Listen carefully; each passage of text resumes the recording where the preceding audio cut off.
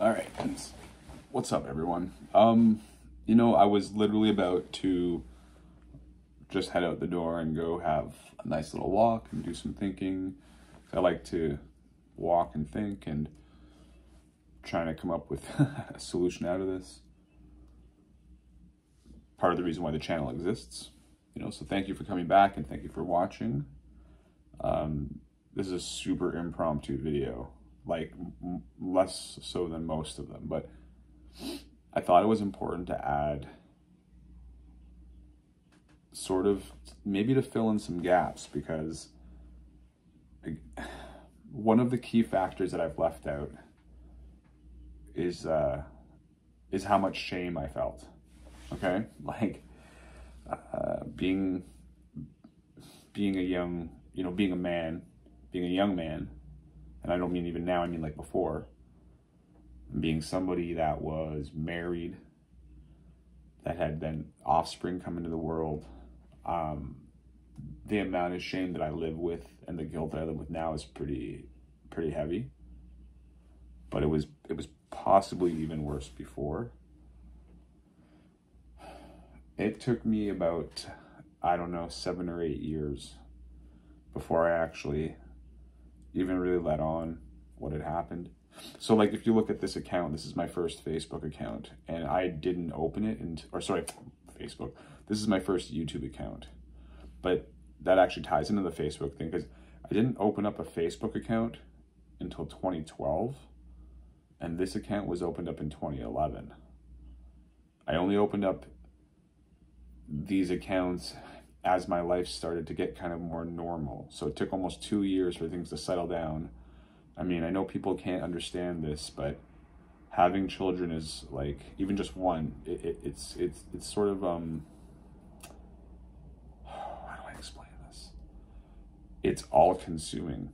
It, it like you know you're, especially when you're a new parent, right? Like you're worrying about all sorts of things, like like how to care for a child. Like you, it's the second one is not nearly as scary as the first one, I can tell you that, in terms of like knowing what to do and how to do it and reading the signs. But like your first one is going to obviously throw you for a lot of loops if you have more than one, if you ever have kids, that is. And navigating that while at the same time, um, I was working, like I said, my ex was working. We were together at the time. And I just I I don't know how to explain it, but like all your free time goes into like uh, the kid. Like they're 24 7 365 things. They're not like not like a cell phone that you can just turn off and you don't want to answer texts, right? like if your kid is hungry and needs a diaper change at you know 2:15 in the morning, it's happening whether you want to or not. So it, it becomes consuming and you, you stop like thinking about stuff and paying attention to stuff. And like, you know, in, in the past, you'd you know, this we had the soccer moms and all these people and like these stereotypes of uh, the stay-at-home moms who wore the sweatpants all the time and t-shirts and never really changed their outfits and always like what it's because it's why get dressed up when you're just going to get covered in kid slop when you're constantly doing you know errands and making food and changing diapers and cleaning up toys and cleaning up messes and cleaning up kids? Like it's never ending mothers that like do the work at home like i've said before it's you know now that we don't really have mothers anymore we're kind of forgetting how uh, crazy of a job it is but it's intense. As a person who's had to do caregiving in this past for my own kids when my wife was working right? Like it's pretty wild. So yeah i don't know. Um i lived in this like umbrella of shame for a long time. Like even even this youtube channel like i said right? It took me quite a few years to make a YouTube channel. YouTube was around in 2006. I didn't really have the equipment to like start a YouTube, and that was one thing that I was very interested in early on when it first popped up. But I didn't have the money for the equipment, and it wasn't just like you can use a cell phone like I'm using right now and get away with it. It was, you know, back then you needed the video cameras, you needed a decent computer, you needed to, you know, be able to um, convert and upload your stuff. Like it was a timely process and an expense, much, I mean, relatively speaking, more expensive process than right now. I mean, much more in some cases. Um, I started uploading to YouTube and this channel started and you'll see a lot of my older videos. It's video game footage. I was never trying to be a YouTube star. I was always pretty good at like uh, PvP first person shooters.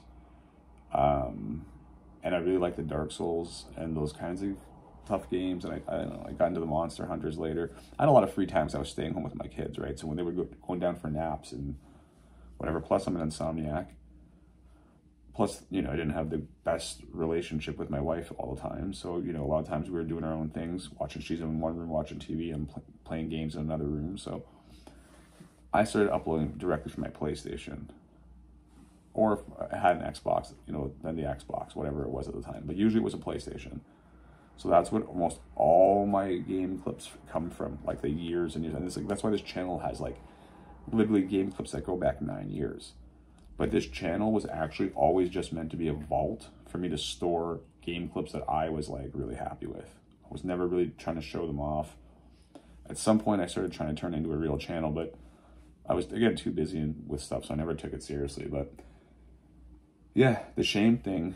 I mean, it becomes so overwhelming that like what happens is you think you, you think to yourself, you're like, okay, look, things went bad in 2009. It'll take me a year or two to get back on my feet. You know, once I get back on my feet, then I will come out of my shell. I will only be 31, 32. I can still network and reconnect with people. Like, it won't be so weird. For me, it already being kind of like naturally a bit of a, of a loner. You know, I ended up just really becoming very reclusive. I wasn't a hermit because I lived with other people, had my family, but like I, I, really kept to myself and didn't really like mixing with people. Like, you know, I got invited to do some stuff with bands a couple times and I jammed and it was okay. It was fun. They wanted me to come back. I didn't want to go back because I really just became, I don't know, like, like afraid of the world almost you know like it was like it's weird like again like back then i did have a car but i didn't really have like again the credit cards and the money so like things were still really sketchy and i was like the car was not in great shape so it's like you, are worried about things like well man can i drive here? Because if I, if I drive there and the car breaks down then like what do i do? I can't pay for a tow i can't pay for repairs like the car will be stranded there. Your brain starts thinking weird things. This is something that people with um, enough can't understand about people that don't have enough is that even when nothing is really going wrong, your brain is sort of always preparing for the worst so that you can plan like like like like you have to plan for it. Like me like up here on top of my top bunk here i have uh my knapsack and it's it's packed ready to go.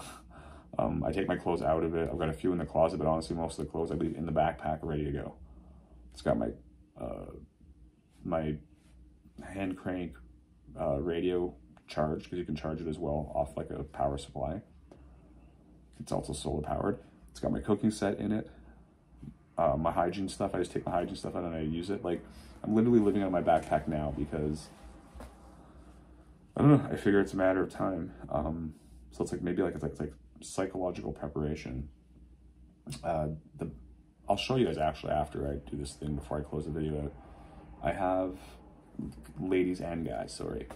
I have um, my sleeping bag attached. The tent is there, came in a bit ago. So it's like, there's a couple other things I might like to get.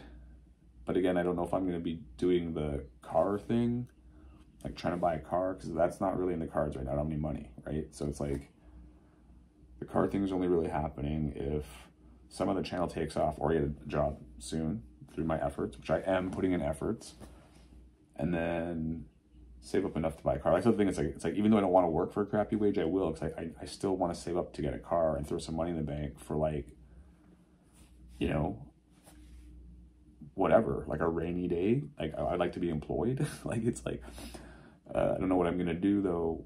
Like like it's just it's it's it's it's aggravating to know that you'll be employed and working and you can't even afford rent. Like I'll be living in a car probably or a tent and I'll have to work somewhere if it's not a decent wage, which it's not going to be probably, knowing my luck. So, yeah, I don't know. Anyhow, you know, Shane keep kept me from asking for help until just now, basically, with this channel, and I'm kind of doing it because I'm just I've gotten fed up. I want to, you know, I want people to know. I want to let the world world know, whoever's watching this know that like, it's not always a drug addiction or an alcohol addiction or a serious mental health disorder that puts you out on the streets. It's not like you choosing to do it because you want to. You know, it's like I'm not. I don't fit into any of those categories. Uh, like there's there's there's other categories too that we. I mean, I don't even know some of them. I'm sure. Right. There's a lot of reasons why this kind of thing could happen to people. That we just don't have the social safety nets. Uh, it depends how much people care about you, what kind of family you come from, how prepared you are, how lucky or unlucky you are. Again, how hard you work, you know, um, what kind of person you are. These things obviously all come into play. Um, but it's like the, the corner to rat thing. It's like, I don't deny that maybe at some of job my jobs in the past I've had, you know, sort of like a, I want to say a bad attitude, but like I've been like very sort of like apprehensive and like didn't, you know, afraid to get too close to anybody. Um, and I was very defensive. It's because I've been like screwed over so many times. And all these things I keep trying never work. Like somebody called me the dog that kick, gets kicked while he's down.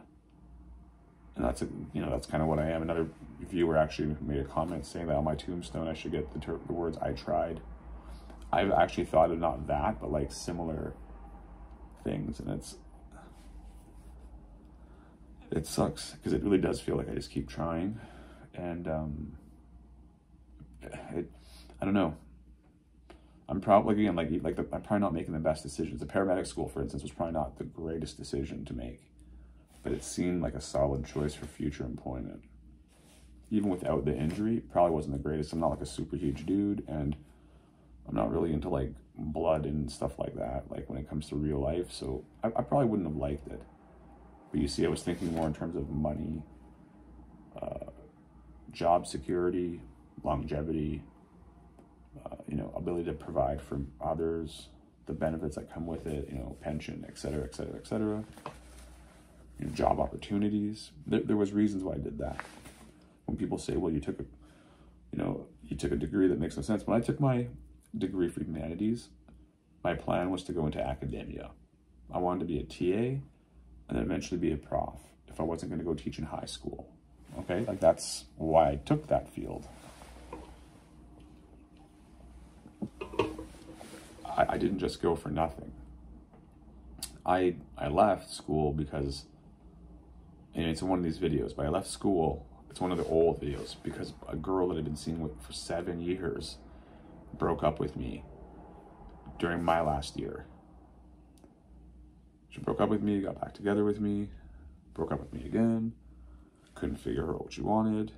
We've been together for seven years. I'd planned my whole life around her it was a bit of a shock to the system. I wasn't able to keep focusing on school. My, my 7.0 grade point average was actually higher than that.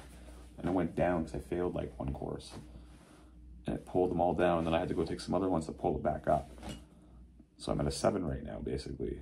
Um, but it probably could have been higher. And I wouldn't have had an F. right? But like I never failed anything, ever done bad until that year when my mind melted for the first time, probably. So really things probably for me really went off the rails at 24 or 25. You know, I gave up my band for school, which was connected to marrying, you know, or I thought I was going to marry a woman. And I was going to school to provide for both of us because she came from a much worse, even family than I did. Like I didn't marry up. I was going to marry way down. No offense to her. Trying to be the hero but once again, it's because I thought I, I thought my family was in a better spot than we were in. I was always unaware of really, you know, what we were worth. Our family didn't have like open discussions about finances and like the, the state of the family. So you, just kind of went by what you saw. And like I said, everybody here lives off credit cards. So things always looked good.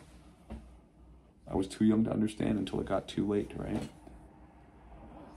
yeah anyhow so shame dominated my life and i didn't really ask for help from anyone and that's why i also made that other you know video here or there i made a couple i think that re- reference like asking for help and being shot down or turned away when you finally finally work up the courage to ask for help and then it it just falls on deaf ears and, and like people ghost you it's it's so sucky because like honestly like I don't know. You wait and you wait and you wait because you don't want to like let people know what's going on. You're trying to keep things secret under wraps so that once you fix things, you can come out of it and just be like, oh yeah, well, you know, like you didn't hear from me for a couple years because we were just busy. Like, sorry, just life gets in the way. Nobody has to know about it. The only reason I'm doing this right now is because honestly, like I'm a stone's throw from living on the streets. Again, I keep referencing like, you know, when my sister leaves, it's just gonna be me and my father and mother. Man, my, my sister said today that my father's just talking funny and saying the wrong tenses and you know, like he's he's he's a bit older and he's 70 he's he's starting i think you know slip a bit. Um his attitude like he'll snap at the drop of a hat. Is like edgy. It's not good. Then there's my mom sort of the second part is the same deal nice lady lovely lady at, at her core but like today she was depressed because i think she's upset that my sister's leaving she spent the entire day in her room like the entire 24 hour cycle. I she came out like once or twice for 30 seconds. It's, you know, it, I asked her what's wrong and, and she didn't even turn around. She just, with her back to me, she just went like, just like shrugged her shoulders. But, she didn't even turn around and show me her face. She just kept walking. I was like, okay. like, I haven't done anything. Like, I was cleaning the kitchen and helping her out at that point, doing things. So It was like really weird. But the reality is that I think she's upset that my sister's leaving because my sister's like a female and she can help her with, you know, lady stuff and the daughter mother connection. I don't get along with my dad. I don't really, I, I do stuff for them, but it's like now, it's like the middle of the night. I'll go and I'll do all the cleaning and stuff so that when they wake up, it's done. And then I'm like asleep. Like I'm like a vampire. I try, as soon as I heard the bird, hear the birds chirping, that's my sign to like crawl in bed before the sun, you know, makes it impossible. They wake up with the, you know, the sun comes up, they wake up. I've done my stuff. I've, I've done my contributions to the household, you know. That's like an every night thing here. When I leave, she's probably worried, like, she's probably worried my sister leaves. Like, it's not going to be as messy. Sorry, lips dry. It's not going to be as messy, but, uh,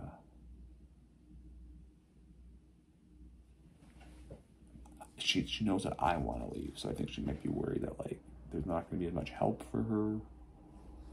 And and I don't think they need a space this big. I think it depresses her living here. So chances are they're going to move, downsize, and then once that happens, I mean, really, like they'll have to get a place with a room for me, which will cost them more money. Or they can just get a place for just the two of them maybe even move into old person facility, which puts me with nowhere to go. I, I will not be able to afford rent. So that'll put me with my tent. Um, possibly, if, I, if again, if I had money, a credit card, you know, like credit card limits, if I had money, maybe I should apply for another card soon. I don't know. Um, my credit's ruined, so they'll say no anyhow. So th- that was a joke. But if I get a car, maybe buy a used car at least, I can have somewhere to stay right? And then my sister and her uh, boyfriend said I could visit and shower there. So I have a place to go to shower and to chill out and hang out if I want to sometimes. Um, I'm sure my parents would let me drop by to shower, but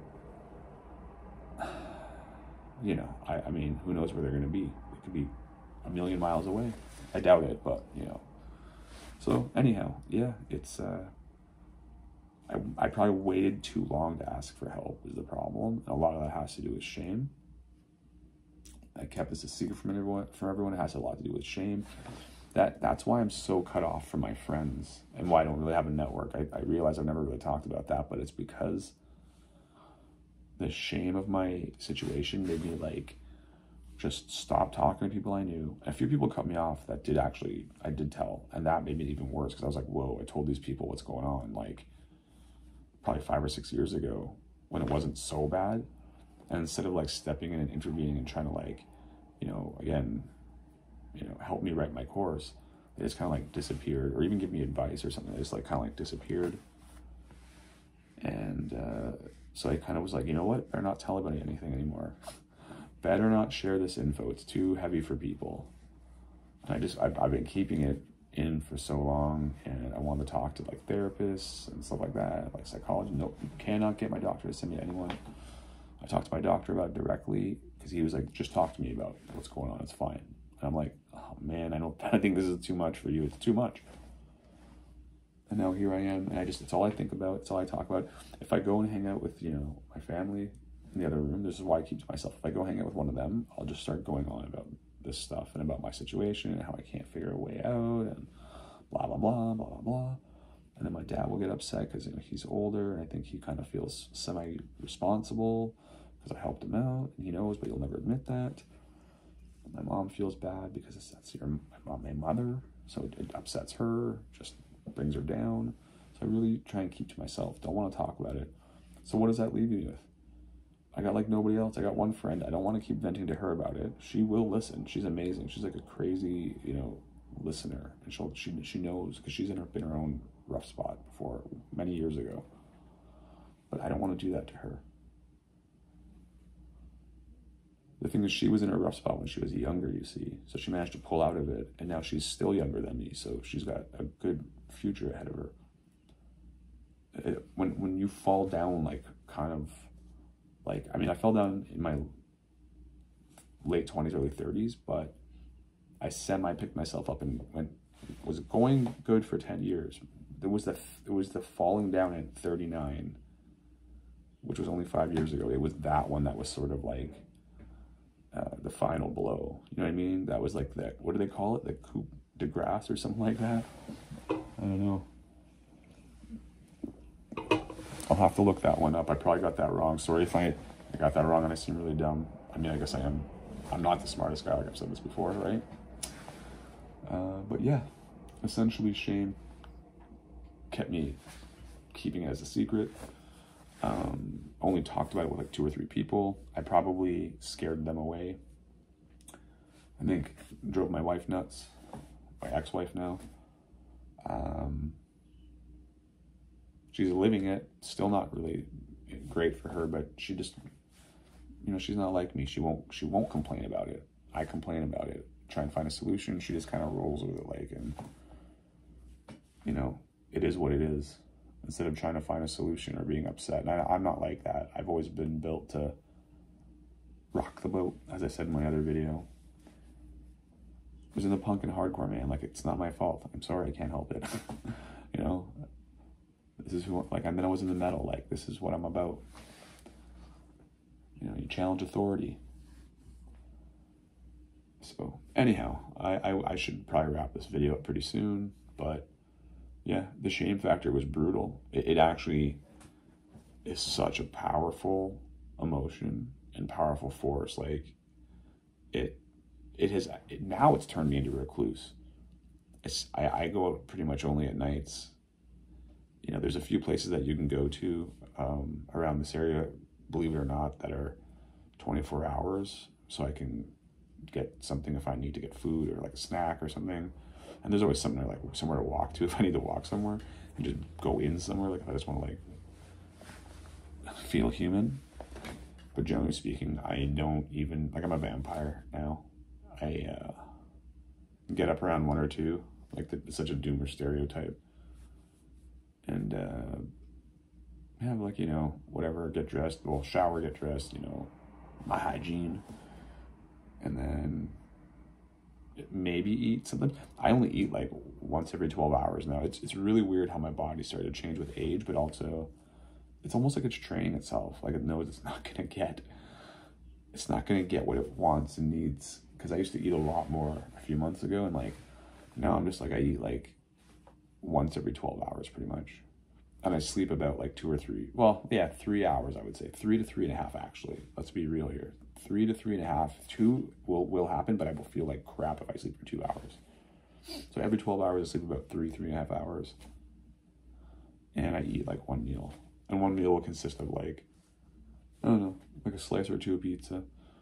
You know, like not very much food. Just don't have much of an appetite. I'm always thirsty.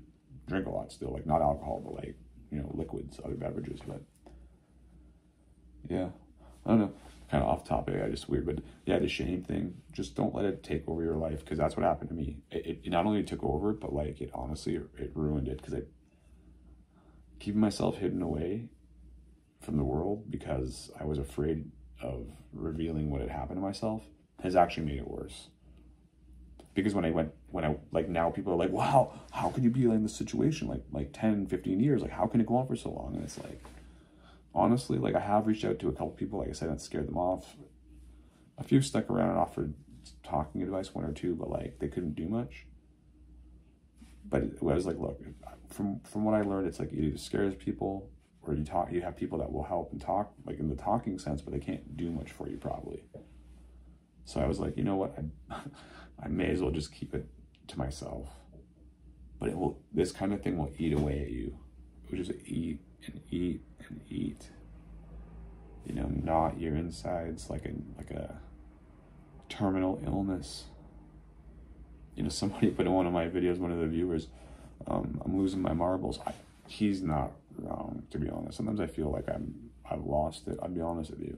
I wonder sometimes whether or not I would be able to survive in like you know, if I went back to like a job at like a Walmart or a grocery store or like a retail type thing, like I don't even think I could do it just because I, I think that they would fire me. I think that I would not last because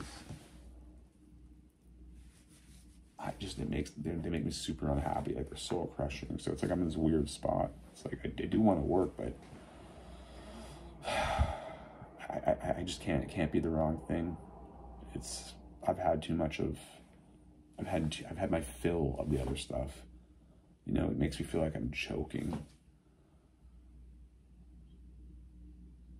You know, and when, when you do the other stuff and it doesn't really get you anywhere, that's the problem when it just gets you by for 30 years or I mean, that's an exaggeration. When you when you're doing things that just gets you by for like 15 or 20 years, let's say, you know it's never going to get better. So really you don't want to do anymore. Right? Like I need to I need to figure out how to turn this channel into a more elaborate and profitable type of revenue um, stream. And, you know, if that means branching it off into other types of things, that's fine. You can talk about different content. People can leave comments, and then, you know, I can do totally different content from this, you know. But if you like the lecture style, I can do that. You know, I think people, some people seem to like the way I deliver my the messages that you know the information I'm talking about. So if you if you want something, we can do that.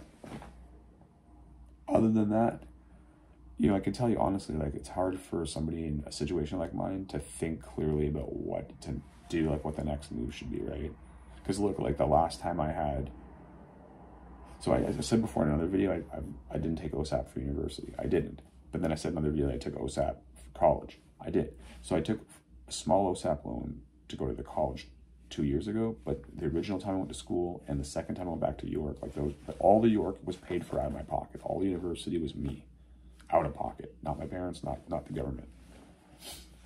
The college was government, and the thing is, now I'm on the hook for like five grand to them. And the last time I went to school to the York and paid out of pocket, I told you like it was like three or four grand, and it's like, what have I really got to show for that? Like almost ten thousand dollars, pretty much, you know. Like like it's gotten nothing. It's gotten nowhere. So I'm I'm really hesitant about like making decisions and spending money because I could have like a car right now. Mind you, I'd have to pay insurance on all this. So it's like, that's the trick, right? Like once you get a car, then you need to pay insurance and maintenance, gas. You know, it's like an apartment. Once you get an apartment, you got to pay rent and hydro, electricity. Like these, these are the things that rope you into needing a full time job. So it's like I'm not unaware that I need a full time job, guys. I'm not 12. I've been working since I was 14. I think I did actually other work like for people when I was like when I was like 12 like you know just like favors and errands you know babysitting type things back in the day but I had my first like job where somebody paid me a decent check like when I was like 14 I think it was like you know I can't remember exactly what it was I think it was I put some trees on a property trees are still there anyhow, peace out, everyone. Have a good one. Just hit like or subscribe. Um, I'll show you the. I'll show you actually the. If it's safe. Yeah. So, I mean, it's kind of weird, but like I have everything.